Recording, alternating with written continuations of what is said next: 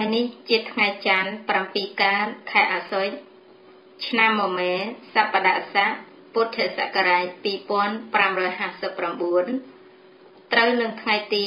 19ខែតុលា គ្រិស្តសករាជ2015ខ្ញុំប្រកាសណាខ្ញុំង៉ែតវណ្ណតារាទទួលភារៈជាអ្នកអាននៅសិភើធម៌ក្នុងក្រុម website Dhamma for Khmer ដែលដឹកនាំដោយលោកអបាសកលឹមសៀងនៅរដ្ឋកាលីហ្វ័រញ៉ាសហរដ្ឋអាមេរិកថ្ងៃនេះផងដែរខ្ញុំប្រកាសណាខ្ញុំសូមអាននៅសិភើធម៌ដែលមានចំណងជើងថា ប្រវត្តិព្រះអសីតិមហាសាវកដែលសិភើនេះប្រមូលរៀបរៀងដោយព្រះដេចជាព្រះគុណយោងសុផាន មានប្រមាណ8ភាគ ចាមុននឹងចាប់ផ្ដើមអានខ្ញុំប្រកាសណាខ្ញុំសូមលើកកំបងអញ្ជលីនមស្ការថ្វាយបង្គំចំពោះព្រះសម្មាសម្ពុទ្ធជាម្ចាស់ព្រះអង្គជាគ្រូនៃមនុស្សទេវតាអិនព្រំទាំងឡាយក្នុងត្រៃភពដោយសេចក្តីគោរពសក្ការៈដ៏ខ្ពង់ខ្ពស់ស្មើដោយជីវិតសូមនមស្ការថ្វាយបង្គំចំពោះព្រះធម៌របស់ព្រះអង្គដែលជានៃយេតិកធម៌ដោយសេចក្តីគោរព មួយអន្លើសូមនមស្ការថ្វាយបង្គំចំពោះព្រះអរិយសង្ឃដែលជាសង្ឃសាវកដោយសេចក្តីគោរពសូមថ្វាយបង្គំចំពោះព្រះសង្ឃនាសម័យបច្ចុប្បន្នទាំងក្នុងនិងក្រៅប្រទេសដោយសេចក្តីគោរពជ្រះថ្លាហើយក៏សូមធ្វើការគោរពជំរាបសួរចំពោះពុទ្ធបរិស័ទទូទៅទាំងអស់ដោយសេចក្តីគោរពរាប់អានជាបន្តទៅនេះ ក៏សូមគោរពនិមន្តព្រះករុណាជាម្ចាស់គ្រប់ព្រះអង្គនិងអញ្ជើញពុទ្ធបរិស័ទទាំងអស់ស្ដាប់នៅប្រវត្តិព្រះអសីតិមហាសាវកភាគទី1ទាំងស្រុងដូចតទៅប្រវត្តិព្រះអសីតិមហាសាវកភាគ1ប្រវត្តិព្រះអសីតិមហាសាវក80រូបព្រះធរៈទាំង80រូបមានព្រះអញ្ញាកោដេញ្ញៈ ព្រះសារីបុត្រព្រះមហាមុគលានជាដើមសុទ្ធសឹងតែជាមហាសាវកដែលមានជំនាញឯកទេសដែលគ្មានអ្នកដតីប្រដូចបានបាលីហៅថាអេតតកៈគឺការដល់ភាពជាកម្ពូលរបស់ភិក្ខុមួយរូបមួយរូបដូចជាព្រះអញ្ញាកោដញ្ញៈជាកម្ពូលខាងបានបួសមុនគេ និងបានត្រាស់ដឹងធម៌មុនគេ ព្រះសារីបុត្រជាកម្ពូលខាងមានបញ្ញាគ្មានសាវកណាផ្ទឹមព្រះមហាមោគលានជាកម្ពូលខាងរិទ្ធគ្មានសាវកណាស្មើយ៉ាងនេះជាដើមដូច្នេះមហាសាវករបស់ព្រះបរមគ្រូនៃយើងមាន80រូបដូចមានព្រះនាមរបស់លោកខាងក្រោមនេះ គឺ1ព្រះអញ្ញាកោដញ្ញៈ2ព្រះសារីបុត្រ 3ព្រះមោគលាន4ព្រះកស្សបៈ5ព្រះអនុរុទ្ធ6ព្រះផតយកាលិកោធាយបុត្រ7ព្រះលកន្តកៈផតយៈ8ព្រះបណ្ដុលភិរទ្វិជ្ជៈ9ព្រះបណ្ណមន្តានៃបុត្រ10ព្រះមហាកច្ចាយណៈ11ព្រះជលបន្ថកៈ12ព្រះមហាបន្ថកៈ 13ព្រះសុភូទេ14ព្រះរេវតខតិរវនិយៈ15ព្រះកាង្ខារេវតៈ16ព្រះសោណៈកោលិវិសា17ព្រះសោណៈកដេកណៈ18ព្រះសីវលី19ព្រះវកលិ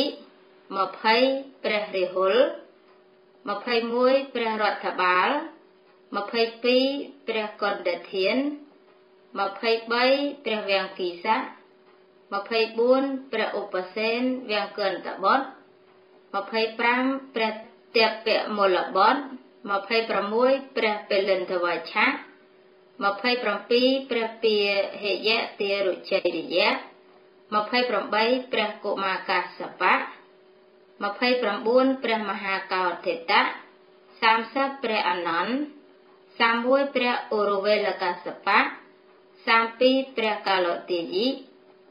33ព្រះពាគុលៈ34ព្រះសោភិតៈ35ព្រះឧបលិ36ព្រះនន្តកៈ37ព្រះនន្តសក្យៈ38ព្រះមហាកបិន39ព្រះសាកតៈ40ព្រះរាធៈ 41ព្រះមោខេរាជ42ព្រះមហានាម43ព្រះអាសជិ44ព្រះយោ45ព្រះវិមល46ព្រះសុពិហុ47ព្រះពុណជិ48ព្រះកវំបតិ49ព្រះនតិកសបៈ50ព្រះកយាកសបៈ 51ព្រះភគុ 52ព្រះកម្ពិលៈ53ព្រះមហាជន54ព្រះអចិតៈ55ព្រះទេសៈមេតយៈ56ព្រះពណកៈ57ព្រះមេតគូ58ព្រះធោតកៈ59ព្រះឧបសេវៈ60ព្រះមន្តកថេ 61ព្រះហេមកៈ62ព្រះតោតេយៈ63ព្រះកបៈ64ព្រះចតុកណី65ព្រះផាត់ត្រាវុធ66ព្រះឧទយថេ67ព្រះបោសាលៈ68ព្រះបង្កិយៈ69ព្រះនាគិតា70 ព្រះនាលកៈ71ព្រះប៉ុណ្ណៈ72ព្រះមេខិយៈ73ព្រះយៈសោជៈ74ព្រះសភិយៈ75ព្រះសេលៈ76ព្រះឧទាយី77ព្រះឧបវណ្ណៈ78ព្រះអង្គុលីមាល79ព្រះវបៈ 80ព្រះខតតិយៈអធិរៈទាំងអស់នេះរាប់ចូលជាមហាសាវកគឺសាវកដ៏ធំ សាវកដ៏ឆ្នើម ជាសាវកដែលមានឥទ្ធិពលក្នុងការផ្សព្វផ្សាយព្រះពុទ្ធសាសនារបស់ព្រះមានព្រះភិក្ខបរមគ្រូនៃយើងពួកភិក្ខុសម័យពុទ្ធកាលពេលណាផ្ដាំផ្ញើដើម្បីថ្វាយបង្គំព្រះមានព្រះភិក្ខហើយ ក៏តែងផ្ដាំដើម្បីថ្វាយបង្គំនៅបាតានៃអសីតិមហាសាវកផងដែរដូច្នេះពាក្យថាមហាសាវកឬអសីតិមហាសាវកតែងបានជ្រួតជ្រាបទៅក្នុងស្រទាប់នៃពុទ្ធបរិស័ទក្នុងយុគសម័យនោះទោះបីព្រះថេរៈរូបខ្លះមិនបានជាប់តាមព្រះមានព្រះភិក្ខគ្រប់ពេលក៏ដោយតែគិតទីគុណ របស់លោកមិនស្ងាត់កំបាំងឡើយតែងបានខ្ចោះខ្ចាយទៅក្នុងពួកមនុស្សទេវតាមាព្រំគ្រោះបពជិនគ្រប់ស្រទាប់វណ្ណៈប៉ុន្តែឥឡូវនេះព្រះនាមព្រះថេរៈខ្លះពុទ្ធបរិស័ទស្ទើរតែលែងស្គាល់ទៅហើយដូច្នេះខ្ញុំប្រកាសណាខិតខំស្វះស្វែងរកគម្ពីរក្បួនច្បាប់ផ្សេងផ្សេងដែលរៀបរាប់អំពីប្រវត្តិរបស់លោក យកមកចងក្រងជាសៀវភៅនេះឡើងដែលរៀបរាប់តាមលំដាប់ព្រះនាមនៃព្រះថេរៈ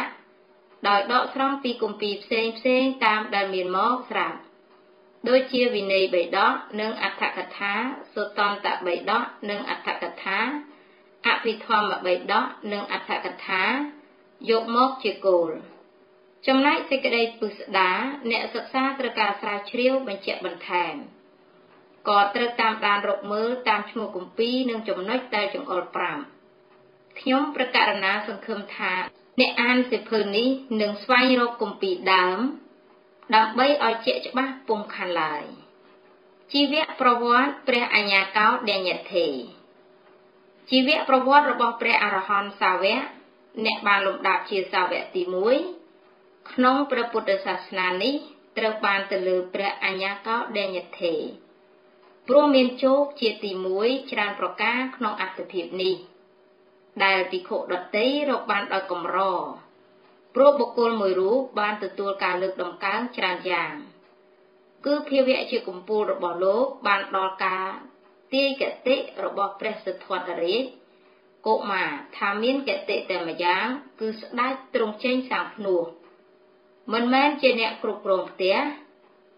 មួយទៀតការសម្រេចចិត្តចេញបួនតាមព្រះបរមពុទ្ធិសត្វការបានស្ដាប់បឋមទេសនា គឺការសម្ដែងធម៌ជាដំបូងទាំងបានសម្រេចអរិយធម៌ការបានជាបឋមសាវកគឺសាវកមុនគេ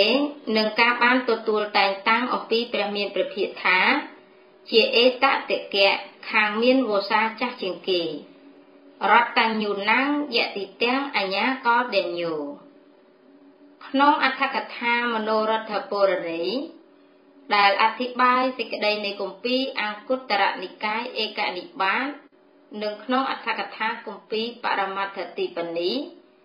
អធិប្បាយបាលីនៃគម្ពីរខតកនិកាយថេរគាថាមានសេចក្តីថាព្រះអញ្ញាកោលញ្ញធេកើតជាបុត្ររបស់ព្រាមមហាសាល ក្នុងព្រាមក្រៀមឈ្មោះថាតូនវត្ថុដែលនៅជិតនឹងក្រុងកបលភ័ពីដើមឡើយលោកមានឈ្មោះថាកោដញ្ញៈកាលលោកមានវ័យវឌ្ឍនាការចម្រើនឡើងបានសិក្សាវិជ្ជាចេះចប់ត្រៃវេទព្រមទាំងរៀនមុនលក្ខណៈគឺតម្រាទាយលក្ខណៈឬក្នុងសម័យនេះហៅថាតម្រានលៈគឺក្បួនតម្រាមើលលក្ខណៈមនុស្ស វិជ្ជាទាយលក្ខណៈនេះឯងជាវិជ្ជាជួយឲ្យលោកបានទទួលការអញ្ជើញរួមជាមួយព្រាហ្មណ៍107នាក់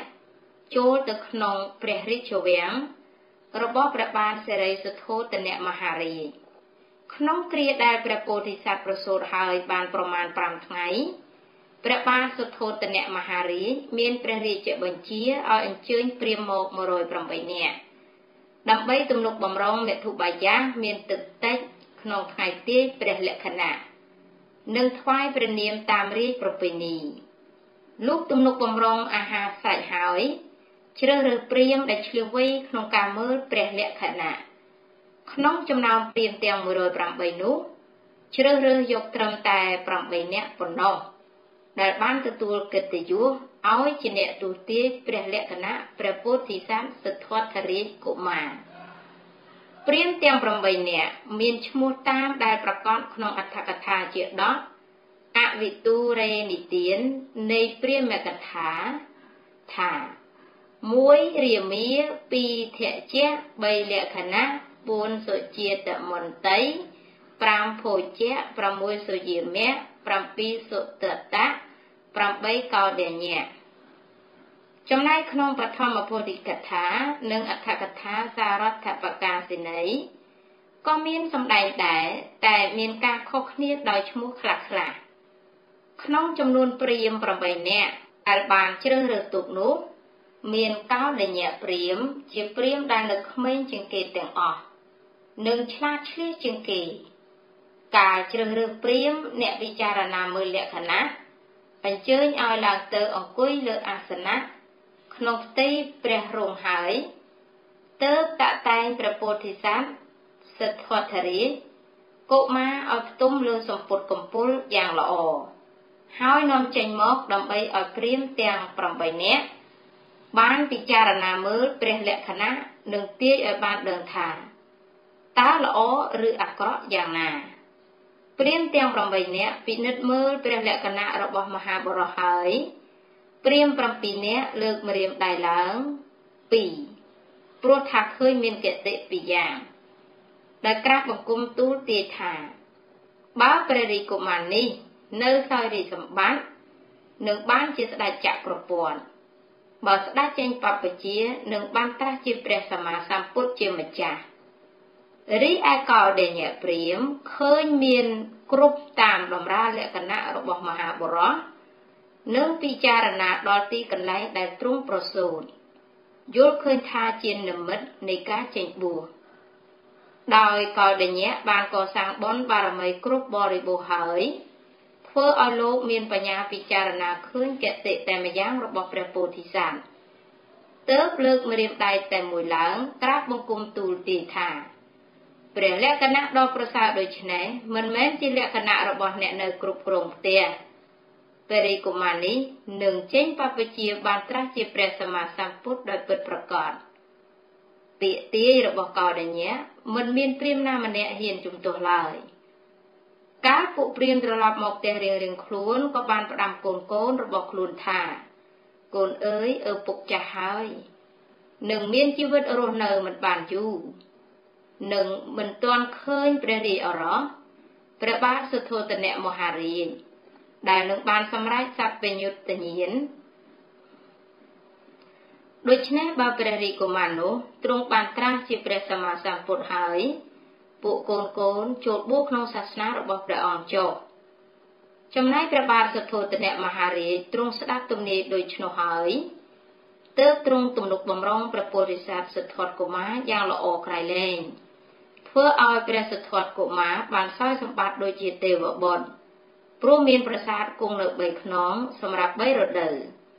មានពួកស្រីស្នំរងចាំគាត់បម្រើគ្រប់ពេលធ្វើដូច្នេះព្រោះព្រះបាទសុទ្ធោទនៈមហារាជទ្រង់ប្រាថ្នាឲ្យព្រះសុទ្ធត្ថកុមារនៅសោយរាជសម្បត្តិជាស្ដេចចក្រពត្តិចំណែកព្រះសុទ្ធត្ថកុមារទ្រង់មានគ្រឿងឧបភោគបរិភោគនិងព្រះស្នំយ៉ាងច្រើនបានចម្រើនវ័យធំឡើងជាលំដាប់ ញៀនក៏ចាស់ខ្លាផងដែរទ្រង់បានឃើញទុកក្នុងកាម និងឃើញអានិសង្សក្នុងនេខមៈគឺការចេញចាកកាមទើបទ្រង់ជាងចេញបួសក្នុងឆ្នាំដែលមានព្រះជន្ម29វស្សាត្រូវត្រង់ថ្ងៃដែលព្រះរិហុលកុមារប្រសូតព្រះអង្គទ្រង់កាត់ប្រទេសចេញបព្វជិដោយមានឆន្ទអាមាត្យជាជំនិតស្ដេចឡើងគង់សេះកន្ធកៈចេញចាកព្រះនគរទៅ រំលងរាជអាណាចក្រ3ប្រទេសក្នុងមួយរាត្រីប៉ុណ្ណោះហើយទ្រង់បួសក្បែរមាត់ស្ទឹងអនោមាដោយបានទទួលទង់ជ័យព្រះអរហន្តដែលខតិកាមហាព្រំយកមកថ្វាយព្រះអង្គទ្រង់មានចរិយាដូចជាព្រះធេរៈមានវស្សា100ឆ្នាំហើយដូច្នោះព្រះអង្គយាងទៅកាន់ក្រុងរាជក្រឹសដោយអរិយាបថដ៏គួរឲ្យជ្រះថ្លា នឹងត្រាច់បណ្ឌបាតក្នុងក្រុងរាជក្រឹសនោះរួចទៅសោយព្រះក្រយាហានៅញោកភ្នំបណ្ឌវៈរីឯព្រះបាទបំពិសាព្រះរាជានៃមគធរ័នទ្រង់ជ្រាបទើបយើងទៅបបួលដើម្បីឲ្យសោយរាជសម្បត្តិតែព្រះអង្គទ្រង់បដិសេធហើយស្ដេចយាងបន្តទៅរហូតដល់ជនបទអូរវេលាសេនានិគមទ្រង់សពប្រតិក្នុងភូមិភាគនោះថា សំគួរជាទីប្រារព្ធសេចក្តីជាយាមអើបទ្រង់អាស្រ័យនៅទីនោះក្នុងគ្រានោះព្រាមទាំង7នាក់វាតែកោដេញៈចេញ បានស្លាប់ទៅតាមយថាកម្មរៀងរៀងខ្លួនមិនមានឱកាសបានជួបព្រះពោធិសត្វគឺអ្នកនឹងបានត្រាស់ដឹងជាព្រះសម្មាសម្ពុទ្ធដោយដែលគាត់បានផ្ដាំកូនកូនរបស់ខ្លួនទុកចំណែកកោដេញៈដែលទាយព្រះលក្ខណៈរបស់ព្រះមហាបុរសនោះ មិនមានរោគាបៀតបៀន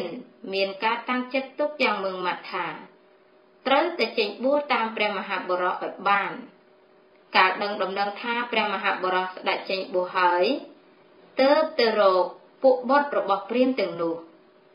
នឹងប្រាប់ឲ្យដឹងថាព្រះសុទ្ធត្ថរីកុមារស្ដេចទ្រង់ភ្នោះហើយព្រះសិទ្ធត្ថរីកុមារនោះនឹងបានត្រាស់ដឹងជាព្រះសម្មាសម្ពុទ្ធដោយគ្មានសង្ស័យ នេះបើឪពុករបស់ពួកអ្នកនៅមានជីវិតរស់នៅនៅឡើយនឹងចេញបួសក្នុងថ្ងៃនេះឯងដូច្នេះបើពួកអ្នកមានបំណងនឹងបួសក៏ចូលបួសតាមព្រះមហាបរោះនោះចុះបុត្ររបស់ពួកព្រាមទាំង7នាក់នោះមិនអាចធ្វើឆន្ទៈឲ្យដូចគ្នាបាន គឺមានអ្នកមិនព្រមចេញបួស3នាក់ឯ4នាក់ទៀតគឺវបៈភតយៈមហានាមនិងអសជី ព្រមចេញបួសតាមកោដញ្ញៈជាប្រធានទើបរួមគ្នាជា5នាក់ហៅថាបញ្ចវគិបព្វជិតទាំង5នាក់មានកោដញ្ញៈបព្វជិតជាដើមនាំគ្នាត្រាច់ស្វះស្វែងរកព្រះមហាបុរសតាមស្រុកនិគមជនបទរាជធានីទាំងឡាយដោយរបៀបភិក្ខាចារត្រាច់បណ្ឌបានតាមប្រពៃណីរបស់អ្នកបួសរហូតដល់ទីប្រថាប់គង់នៅរបស់ព្រះមហាបុរស និងសូមអនុញ្ញាតនៅក្នុងសំណាក់របស់ព្រះអង្គដើម្បីធ្វើវត្តបដិបត្តិបម្រើធ្វើដូច្នេះដោយសង្ឃឹមថាបើព្រះមហាបុរសបានសម្រេចធម៌ពិសេសណាក៏នឹងទ្រង់ទេសនាទូនមានធម៌ពិសេសនោះឲ្យដល់ពួកយើងបានសម្រេចផងដែរការធ្វើវត្តបដិបត្តិដោយយកចិត្តទុកដាក់ពិតពិតរបស់ពួកបព្វជិតបញ្ចវគិចំពោះព្រះមហាបុរស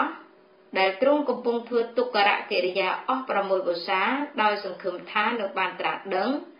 ជាព្រះសម្មាសម្ពុទ្ធក្នុងពេលឆាប់ឆាប់នេះតែការព្រះមហាបរោះទ្រង់ធ្វើទុក្ករកិរិយាដោយវិធីផ្សេងផ្សេងដូចជាមានការសោយព្រះកល្យាហាថយចុះបន្តិចម្ដងបន្តិចម្ដង រហូតមួយថ្ងៃសោយតែប៉ុនក្របល្ងក៏នៅតែមិនបានត្រាស់ដឹង ទើបទ្រង់ពិចារណាឃើញការធ្វើអត្តកិលមេដ្ឋានុយោគគឺការធ្វើខ្លួនឲ្យលំបាកឬការធ្វើព្យាយាមតឹងរឹងហួសពេកមិនមែនជាផ្លូវនៃការត្រាស់ដឹងនៅអរិយធម៌ទើបទ្រង់លះបងចោលហើយត្រឡប់មកសោយចង្ហាន់តាមប្រក្រតីវិញពេលព្រះមហាបរោះត្រឡប់មកសោយចង្ហាន់តាមប្រក្រតីវិញ ជាហេតុឲ្យពួកបព្វជិតបញ្ចវគិមានកោដញ្ញៈជាដើមយល់ថាព្រះមហាបរោះលះបង់សេចក្តីជាជាមវិលមកជាអ្នកប្រាថ្នាច្រើនហើយក៏អស់សេចក្តីជ្រះថ្លាកើតការនឿយណាយចំពោះវត្តបដិបត្តិទើបនាំគ្នាលះបង់ព្រះមហាបរោះកិច្ចទៅនៅព្រៃអិសិបតនៈមគតិយវ័នក្បែរក្រុងពារាណសីគ្រានោះព្រះមហាបរោះសោយចង្ហាន់តាមប្រក្រតី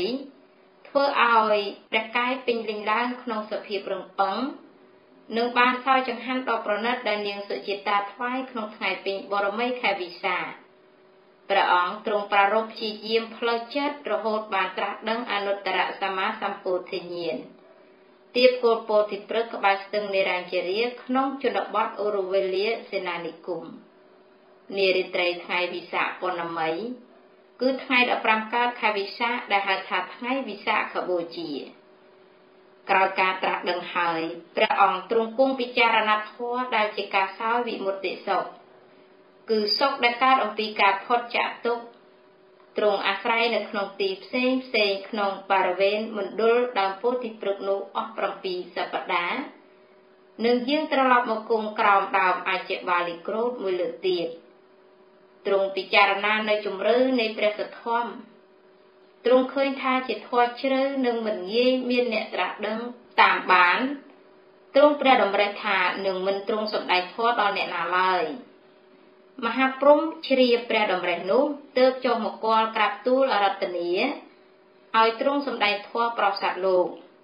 ហើយព្រះមានប្រភាទ្រង់ទទួលការក្រាបទូលអរតនីរបស់មហាព្រំនោះ មានរឿងប្រកាសក្នុងបាលីមហាវគ្គព្រះវិន័យបិដកមានសេចក្តីថាព្រះពុទ្ធអង្គទ្រង់រំពឹងថាតថាគតនឹងសម្ដែងធម៌ដល់នរណាមុនណោះនរណាណោគួរនឹងត្រាស់ដឹងធម៌នេះបានដោយឆាប់រហ័សចុងក្រោយទ្រង់រលឹកដល់អឡារតបោះកាលាមកោតនិងឧត្តកតបោះរាមបុត្រថាជាអ្នកសំគួរយ៉ាងក្រៃលែងតែទេវតាក៏ក្រាបទូល ឲ្យព្រះអង្គទ្រង់ជ្រាបថា អ្នកទាំងពីរបានធ្វើមរណកាលទៅកើតព្រហ្មលោកហើយព្រះអង្គក៏ទ្រង់រំពឹងមើលទ្រង់ជ្រាបថា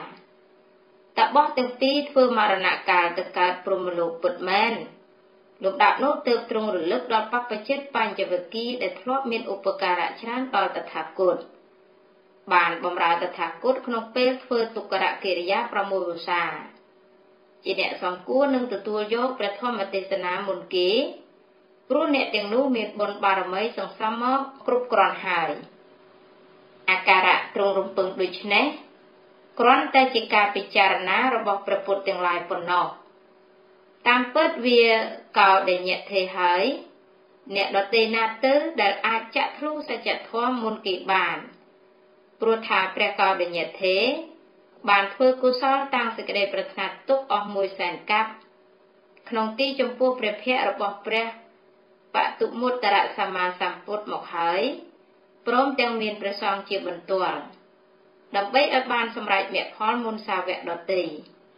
ព្រះមានព្រះភិយទ្រង់ពិចារណាដល់បព្វជិតបញ្ញវគិហើយទ្រង់កាន់បាននឹងចៃវរយាងទៅកាន់ព្រៃអេសិបតនៈមគតិយវ័នដល់លំដាប់ផ្លូវ រហូតដល់ទីចិត្តអាស្រមរបស់បព្វជិតទាំង5រូបនោះពួកបញ្ចវគិលុកឃើញព្រះមានព្រះភិយកំពុងយាងមកពីចម្ងាយក៏ចាំបាន ហើយយល់ថាព្រះមានព្រះភិយយាងមកដើម្បីរកអ្នកឧបថាទើបធ្វើកតិកានឹងគ្នាថាព្រះសមណៈគោតដំលះបង់សេចក្តីជាយាម មកជាមនុស្សប្រាថ្នាច្រើន ពួកយើងមិនគួរថ្វាយបង្គំ មិនគួរក្រោកទទួល មិនគួរទទួលបាតនិងចីវរតែគួរក្រាលអាសនៈសម្រាប់គង់ទុកបើទ្រង់ប្រាថ្នាក៏ចូលប្រថាប់គង់ចុះកាលព្រះមានប្រធាននិមន្តមកដល់ហើយហេតុបច្ច័យនៃការធ្លាប់ធ្វើសេចក្តីគោរពធ្វើឲ្យអ្នកទាំង5ភ្លេចកតិកាដែលកំណត់ទុកនាំគ្នាខ្វល់ខ្វាយធ្វើការទទួលខ្លះទៅទទួលបាតនិងជីវរ ខ្លះរៀបចំអាសនៈថ្វាយខ្លះដងទឹកលាងព្រះបាទទាខ្លះលាងព្រះបាននិងខ្លះទៀតបកផ្លិតថ្វាយលុះសំដែងវត្តស្រែកហើយនាំគ្នាអង្គុយចុះក្នុងទីចិត្តនោះតែបព្វជិតទាំង5សំដែងអកប្បកិរិយាក្រអឺតក្រទមខុសពីមុនដោយជាការនិយាយជាមួយព្រះពុទ្ធអង្គប្រើពាក្យពេចថាអវុសោឬសិទ្ធត្ថជាពាក្យមិនគោរពយ៉ាងនេះជាដើម ព្រះមានព្រះភិក្ខត្រាស់ហាមនិងត្រាស់ប្រាប់ថាតថាគតបានត្រាស់ដឹងអមតៈធម៌ហើយអ្នកទាំងឡាយចូលតាមចិត្តស្ដាប់ចុះតថាគតនឹងសម្ដែងឲ្យស្ដាប់កាលបើអ្នកទាំងឡាយស្ដាប់នឹងតាមចិត្តប្រព្រឹត្តបដិបត្តិតាមតថាគតទូលមានមិនយូរឡើយពួកអ្នកនឹងបានសម្រេចអមតៈធម៌នោះដែរពួកបញ្ចវគិមិនជឿថែមទាំងពលជំទាស់អាងដល់ហេតុការណ៍ក្នុងពេលមុន រហូតដល់3ដងថាអាវុសោកោតដំសំបីការប្រព្រឹត្តយ៉ាងឧក្រិដ្ឋក៏មិនអាចត្រាស់ដឹងបានឥឡូវនេះលោកងាកមកបដិបត្តិដើម្បីជាមនុស្សប្រាថ្នាច្រើនតើលោកបានសម្រេចព្រះនិព្វានដូចម្តេចទៅតែចុងបញ្ចប់ព្រះមានព្រះភិក្ខត្រាស់ដាស់តឿនឲ្យរលឹកដល់ពេលមុនមុនថា អ្នកទាំងឡាយធ្លាប់បានស្ដាប់បានឮដែរឬ តើវាចាដូចនេះតថាគតធ្លាប់ពោលពីមុនមកឬអ្នកទាំង5ក៏ចាំបានថាព្រះវិចារដូចនេះមិនធ្លាប់បានឮពីមុនមកឡើយហើយទម្លាក់ចុះការរឹងត្អឹងនាំគ្នាតាំងចិត្តស្ដាប់ព្រះធម្មទេសនា ដែលព្រះមានព្រះភិក្ខត្រាស់ទូលមានរហូតតទៅថ្ងៃពេញបរមី15កើតខែអាសាឍហៅថាអាសាលហបូជា ជាថ្ងៃដ៏សំខាន់ក្នុងព្រះពុទ្ធសាសនា គឺការប្រកាសព្រះធម្មចក្រកបវត្តនសូត្ររបស់ព្រះមានព្រះភិក្ខប្រោបបជាតិ5រូបក្នុងព្រៃអិសិបតនៈមគតិយវ័នចិត្តក្រុងពេរិនសីចុងបញ្ចប់នៃធម្មទេសនាធម្មចក្រខបញ្ញាត្រាស់ដឹងធម៌បានកើតឡើងដល់កោដេញ្ញបបជាតិបានជាសោតាបណបុគ្គលជាអរិយបុគ្គលមុនគេ វាតែព្រះមានព្រះភិក្ខចេញលោកបានសម្រេចមគ្គផលក្នុងភាពជាមនុស្សតែម្នាក់ឯងគត់រួមនឹងពួកមហាព្រំ18កោដដែលមកប្រជុំគ្នាក្នុងទីនោះព្រះមានព្រះភិក្ខទ្រង់ជឿថាកោដញ្ញៈឃើញធัวហើយទើបទ្រង់បន្លឺព្រះឧទានថាអញ្ញាសេវតៈភោកោដញ្ញោប្រែថាកោដញ្ញៈបានត្រាស់ដឹងហើយណអាស្រ័យព្រះឧទានវិចារនេះ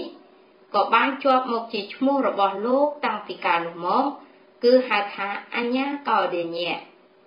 ព្រះអញ្ញាកោដញ្ញៈទេជាបឋមសាវកបានជាកសិណស័ក្តិបញ្ជាក់ការត្រាស់ដឹងរបស់ព្រះមានព្រះភិក្ខថាពិតជាត្រាស់ដឹងមែនទាំងអាចញ៉ាំងអ្នកដតីឲ្យត្រាស់ដឹងតាមបានដែរព្រះមានព្រះភិក្ខទ្រង់ត្រាស់អនុញ្ញាតឲ្យជាភិក្ខុដោយព្រះវិចារថា អ្នកចូលមកជាភិក្ខុចោធម៌ដែលតថាគតសម្ដែងល្អហើយ អ្នកចូលប្រព្រឹត្តព្រហ្មចរិយៈដើម្បីធ្វើនៅទីបំផុតទុកដោយប្រពៃចុះនេះហៅថាអេហេភិក្ខុឧបសម្បទាជាពិធីដែលព្រះមានព្រះភិក្ខទ្រង់បំពោះកុលបុត្រដោយព្រះអង្គឯងព្រះអញ្ញាកោដញ្ញទេបានឧបសម្បទាមុនគេក្នុងថ្ងៃអាសាលហបូជា គឺជាថ្ងៃកំណើតព្រះសង្ឃរតនាចំណែកបព្វជិត4រូបទៀតមិនទាន់បានសម្រេចមគ្គផលទេព្រះមានព្រះភិក្ខទ្រង់ទូលមានដោយបកិនកៈទេសនាជាបន្តរហូតបានត្រាស់ដឹងធម៌គ្រប់គ្រប់រូបដោយរៀងរំដាប់គ្នា គឺព្រះវបៈបានក្នុងថ្ងៃមួយរោចព្រះផតយៈព្រះមហានាមព្រះអសជិបានក្នុងថ្ងៃ2 3 4រោច ហើយបានជាអេហេភិក្ខុតាមលំដាប់គ្នាដោយព្រះអញ្ញាកោដញ្ញៈផងដែរក្នុងថ្ងៃ5រោចព្រះមានប្រភាត្រាស់ទេសនាទូនមានភិក្ខុបញ្ចវិគីដោយអនត្តលក្ខណៈសូន្យភិក្ខុទាំង5រូបក៏បានសម្រេចអរហត្តផលជាព្រះអរហន្តទាំងអស់ពេលនោះមានព្រះអរហន្ត6អង្គកើតឡើងក្នុងលោករួមទាំងព្រះមានព្រះភិក្ខផង កាលដែលព្រះមានព្រះភិក្ខទ្រង់បញ្ជូនសាវកចេញទៅផ្សព្វផ្សាយសាសនាលើកដំបូងព្រះអញ្ញាកលដេញធេបានជួយជាកម្លាំងដ៏សំខាន់ក្នុងការប្រកាសគុណព្រះធម៌វិន័យនៃព្រះពុទ្ធសាសនាឲ្យផ្សព្វផ្សាយទៅក្នុងពពួកជនផ្សេងផ្សេងទៀតរីឯការចេញផ្សព្វផ្សាយព្រះពុទ្ធសាសនា របស់ព្រះអញ្ញាកោដេញធេមិនមានប្រកាសច្បាស់ថា លោកនិមន្តទៅជនបទឬក្រុងណាខ្លះទេគ្រប់អញ្ជើញពុទ្ធបរិស័ទលោកអ្នកស្ដាប់ទាំងអស់អនុមោទនី